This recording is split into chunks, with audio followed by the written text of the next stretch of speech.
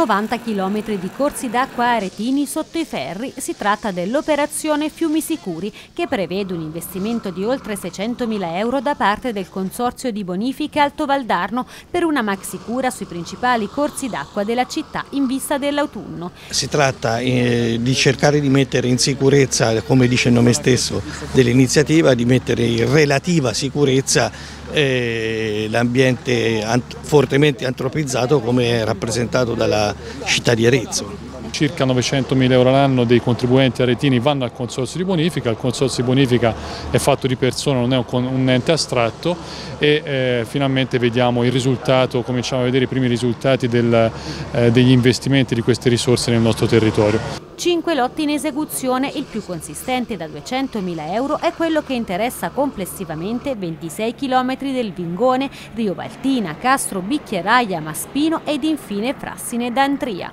L'intervento del Vingone si tratta prevalentemente di un intervento di taglio della vegetazione per poter permettere il deflusso delle acque nel modo migliore possibile.